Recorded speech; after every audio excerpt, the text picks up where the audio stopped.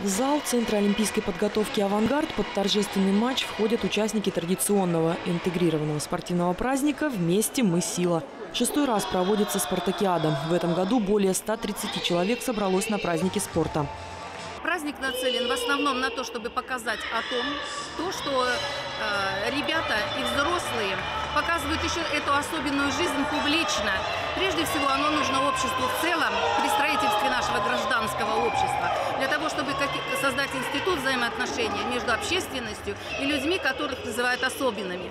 Э, почему? Потому что ну, бедность духовная у нас прежде всего от того, что мы мало знаем и много о себе только думаем и заботимся лично. Это неправильно. Человек родился для того, чтобы заботиться о другом человеке.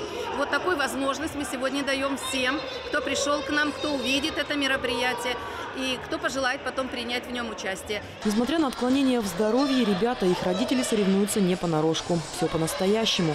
Веселые старты выдались поистине веселыми. Я так понимаю. деткам всем приносить позитив, что дет, деточки радовались нашей жизни, чтобы, чтобы радовались наступившему дню, наступившему солнцу. С каждым годом семейно-спортивный праздник собирает все больше участников, все больше команд.